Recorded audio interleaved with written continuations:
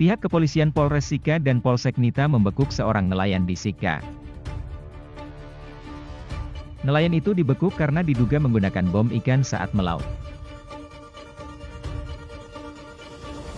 Informasi yang dihimpun tribunflores.com, Sabtu 23 Juli 2022, menyebutkan terduga pelaku berinisial I asal Desa Waturia, Kecamatan Magepanda, Kabupaten Sika.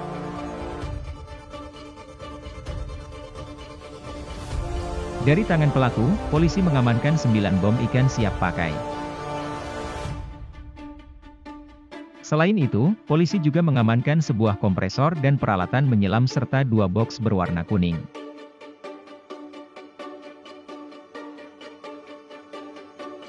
Kapolres Sika, AKBP Filipe Nelson Dias Quintas melalui Kasat Reskrim AKP Nyoman Gede Arya Triadi Putra, menjelaskan, usai diamankan, terduga pelaku dibawa ke Polres Sika guna menjalani pemeriksaan.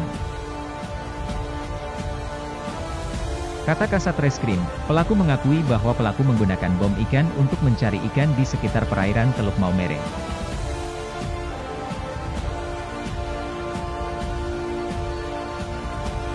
Ia juga mengatakan, dari pelaku nanti akan digali semua keterangan sehingga bisa mengungkap jaringan bom ikan di Kabupaten Sika. Terkait kasus ini, terduga pelaku dijerat dengan Undang-Undang Darurat dengan ancaman hukuman 20 tahun penjara.